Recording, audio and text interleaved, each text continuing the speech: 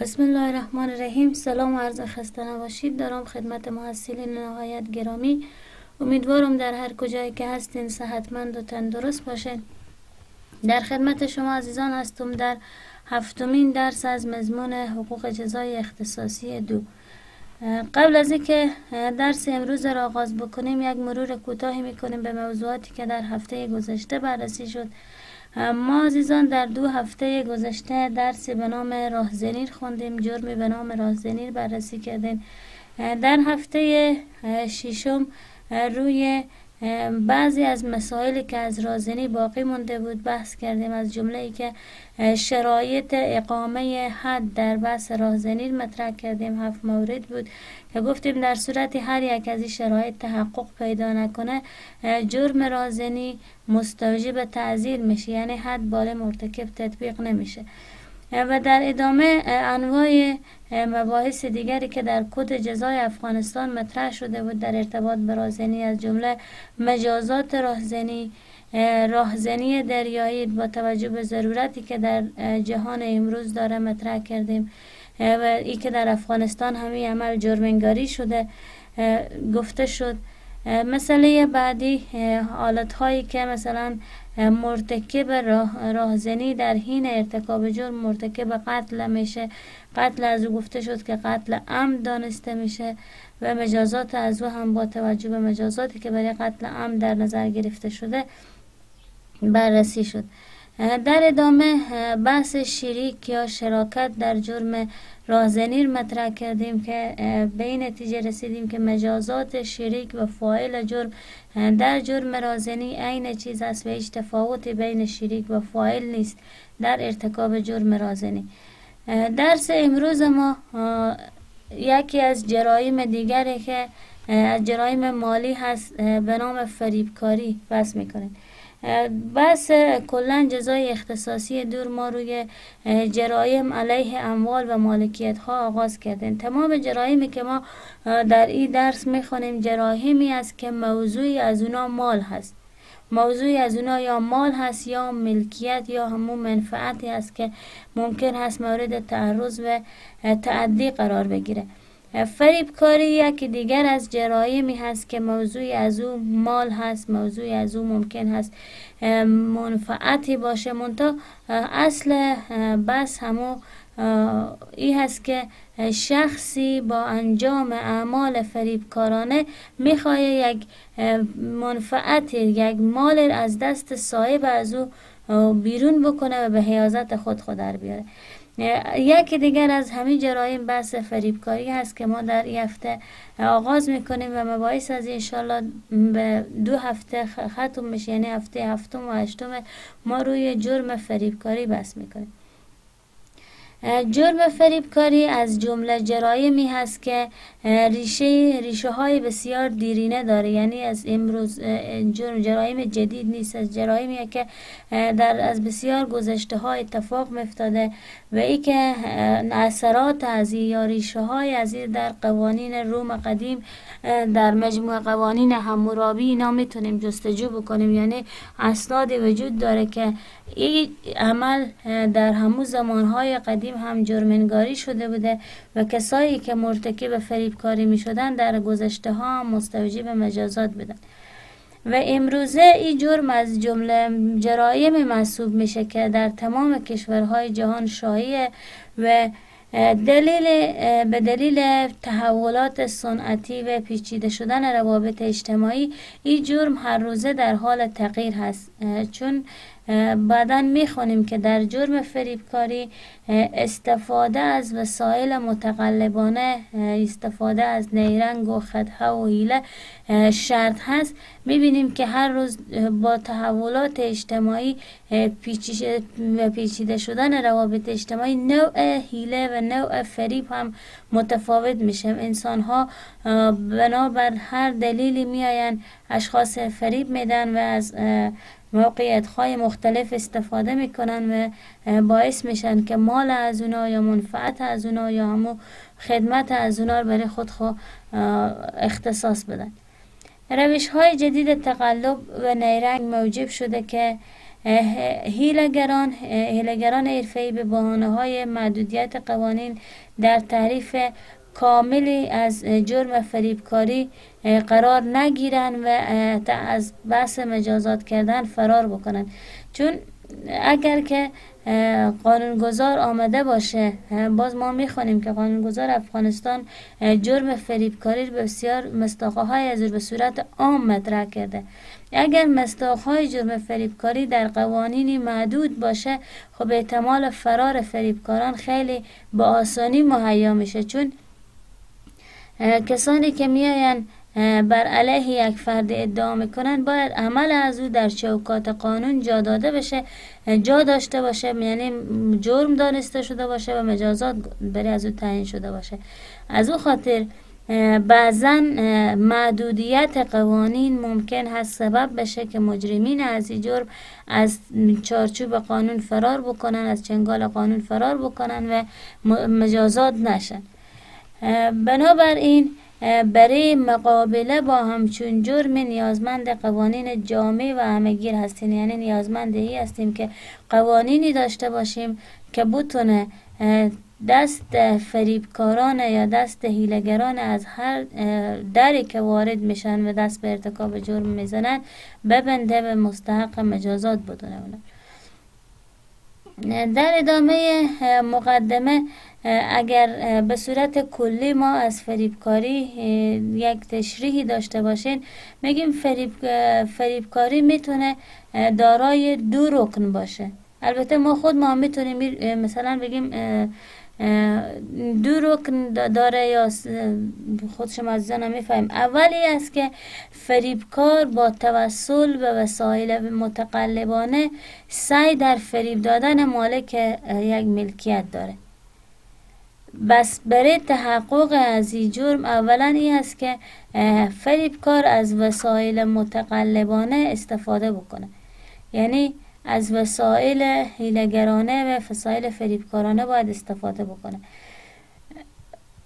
پس توجه به وسیله که استفاده میشه در جرم فریبکاری در اینجا شرط هست لازم هست. ما مباحث باز می‌خوانیم که از چی وسایل ممکن است استفاده کنند حال یک فریبکار در بحث دوم از وسایل فریبکارانه استفاده کرده.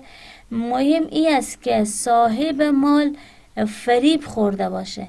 یعنی او از وسایل فریبکارانه استفاده کرده. رکن دوم یا جز دومی هست که صاحب مال یا مالک همی یک ملکیت فریب خورده باشه و مال خور به خاطر همین استفاده فریبکار از وسایل فریبکارانه به او به رضایت خود خود تحویل بده.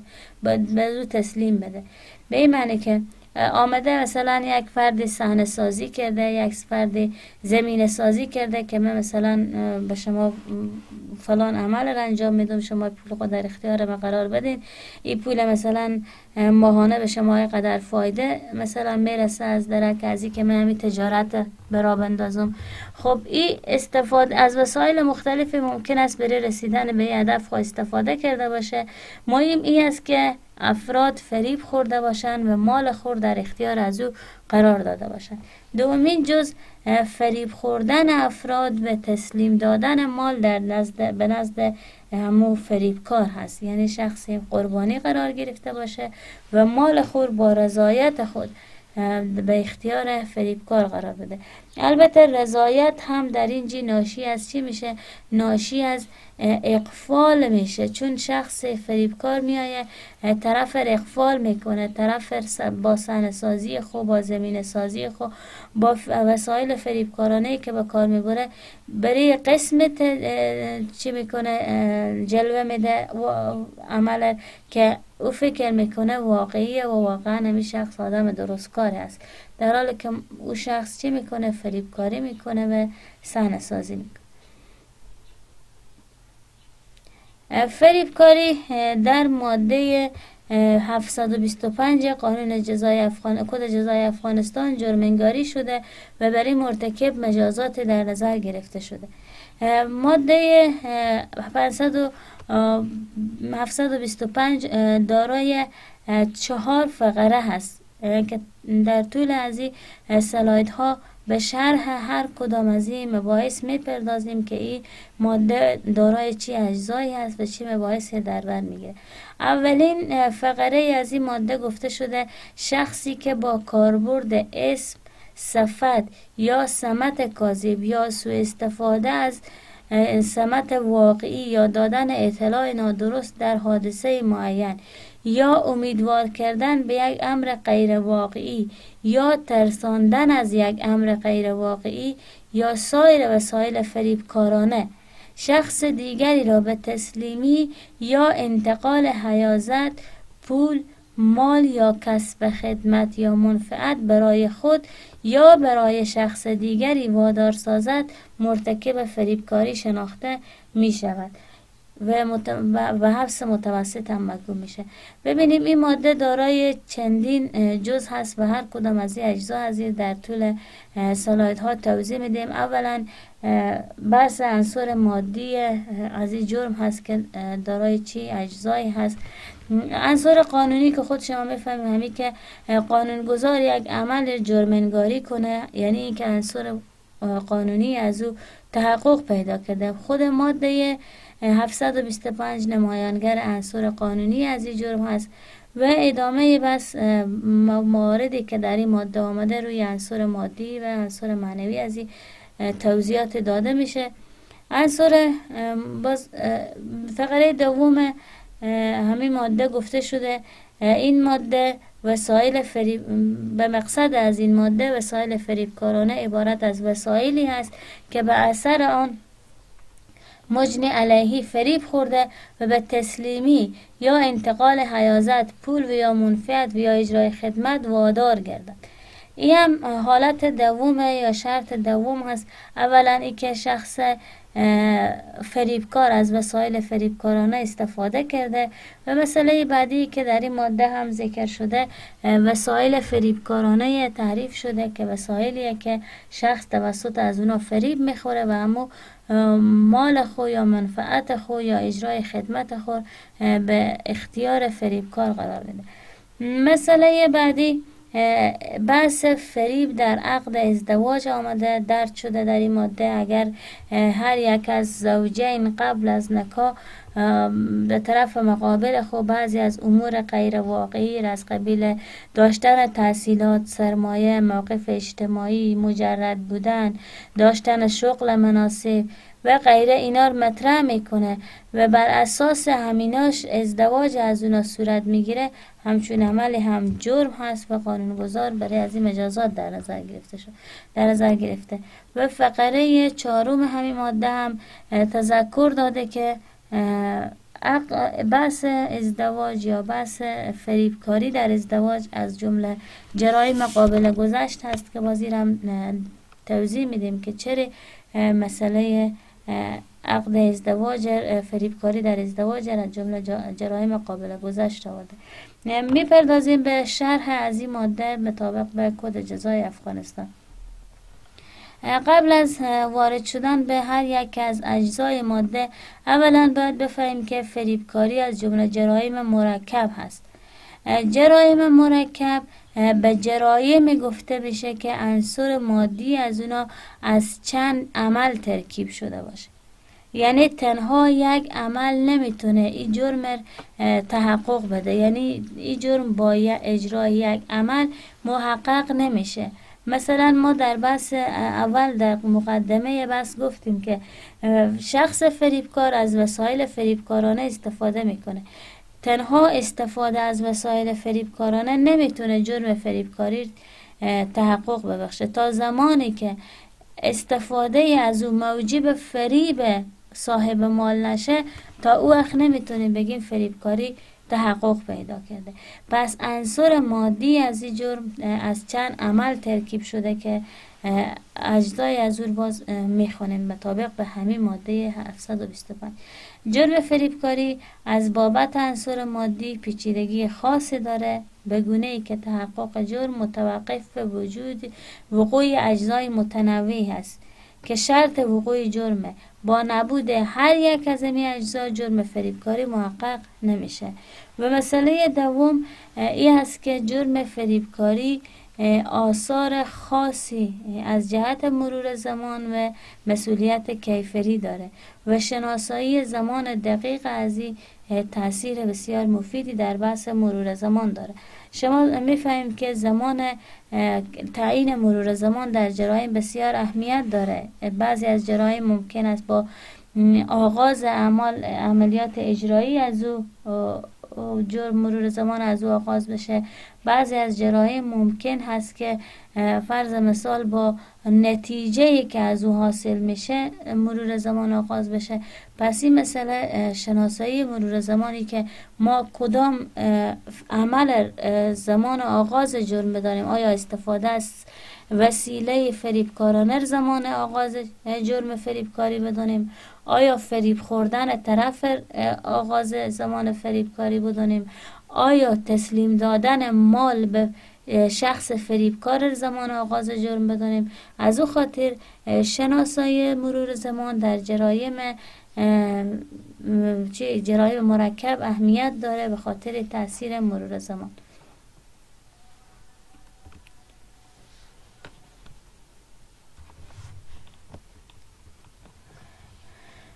گفته شد که فریبکاری ماده 725 بیانگر انصور قانونی فریبکاری است. تعریف فریبکاری فریبکاری عبارت است از گرفتن مال عبارت است از گرفتن مال از طریق توسل به وسایل فریبکارانه یا به وسایل متقلبانه همراه با سوء قصد یا همراه با قصد یا به صورت عمدی. استفاده از وسایل فریبکارانه به خاطر فریب افراد. تعریف کوچکی است که از فریبکاری شده فقره یک ماده 725 موارد متعددی از مصادیق انصار مادی جرم فریبکاری رو ذکر کرده. یعنی هر کدام از این موارد که ما خود شما می‌خوانیم اینا مستاق های جرم فریبکاری اولا در همون ماده آمده بود در فقره یک کاربرد اسم یا صفت دروغ. این مسئله در همون ماده ذکر شده بود. منظور این است که شخصی شخص فریبکار خود خود به عنوان یک شخص نیک یک شخص خوب و یک شخص معروف و شناخته شده در یک محل معرفی می‌کنه. در حالی که ممکن هست همچون شخص نباشه ممکن که نیست چون بحث صفت دروغ یا اسم دروغ. مثلا مطرح می‌کنه که شخص دارای صفت نیک نیست شخص دارای شخصیت معروفی نیست دارای اوصاف نیکی نیست اما میره خود خود به یک منطقه به عنوان یک شخص خوب معرفی می‌کنه. و همین سبب میشه که اشخاص فریب خورده اشخاص فریب بده و اشخاص هم فریب ازیر خورده و پول خور یا مال خور رضایتمندانه به او تسلیم بدن. یکی از همو مستاقهای جرم فریبکاری همه استفاده از اسم یا صفت کاذب هست. دوم استفاده از سمت کاذب هست. سمت کاذب یک عنوان دروغی یا یک نوع موقف و منصب دروغی برای خود خود شخص میایه معرفی می‌کنه خود خود به عنوان رئیس یک محل یا مثلا قماندان یک چی معرفی می‌کنه تا ای که بتونه با همه سمت کاذب خو افراد فریب بده. پس یکی دیگر از وسایل فریبکارانه استفاده از سمت و عنوان دروغین هست که شخصی بیای از سمت کاذب استفاده بکنه. منظور از سمت هم دو نوع سمت ممکن است وجود داشته باشه یکی سمت دولتی هست و یکی هم منصب یا سمت غیر دولتی. شخصی که خود خور مثلا رئیس دانشگاه معرفی می‌کنه رئیس بانک معرفی می‌کنه رئیس انجمن معرفی می‌کنه در حالی که همچون چیزی نیست.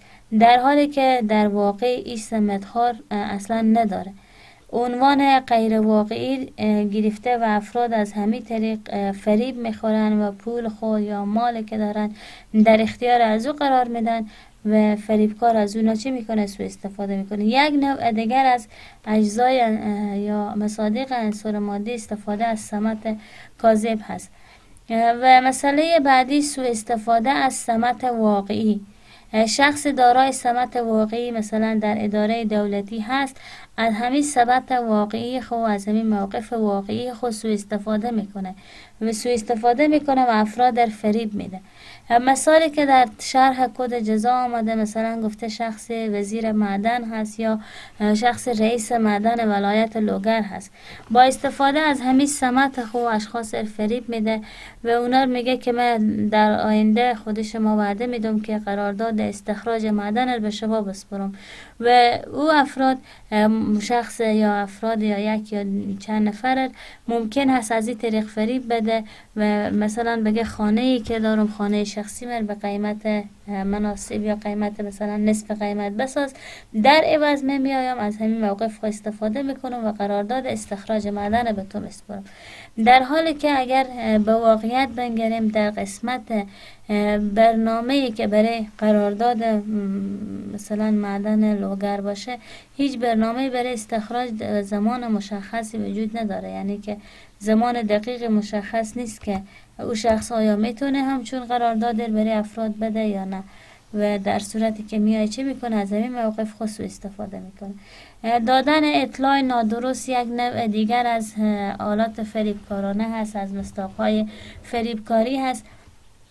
مثلا شخص میایه به یکی میگه زلزله شده بر اساس زلزله مثلا من خانواده خورد دست دادم فرزند به بیمارستان از ضرورت عاجل و پول دارم. بعد پول را از افراد می‌گیره اونا رو فریب میده. در حالی که هیچ زلزله اتفاق نفتاده هیچ حادثه اتفاق نفتاده ممکن است اصلا فرزند نداشته باشه. یکی همین بحث دادن اطلاع نادرست است. مسئله بعدی امیدوار کردن به یک امر غیر واقعی هرگاه شخصی میایه با توسل به وسایل فریبکارانه دیگران امیدوار می‌کنه همین امیدوار کردن به امور غیر واقعی هم خود از او مستاق فریبکاری است و قابل تعقیب و محاکمه می باشه مثلا کسی بیماری صبر علاج داره او امیدوار می‌کنه به این که من درمان می‌کنه. یا کسی نیاز به ای داره که مثلا می‌خوای از افغانستان بره به کشور دیگه مسافرت کنه به او وعده میده و او رو امیدوار می‌کنه که می‌تونه ویزای فلان کشور بره از او بگیره و او روان کنه.